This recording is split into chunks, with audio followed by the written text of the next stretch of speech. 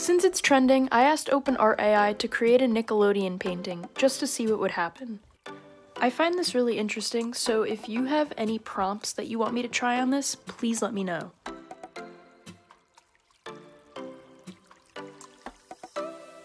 I assumed they weren't going to actually give me real characters from Nickelodeon. This was all just for fun, and this is just the AI trying to mimic Nickelodeon in some way. But I'm curious to know, do any of these paintings remind you of actual Nickelodeon characters?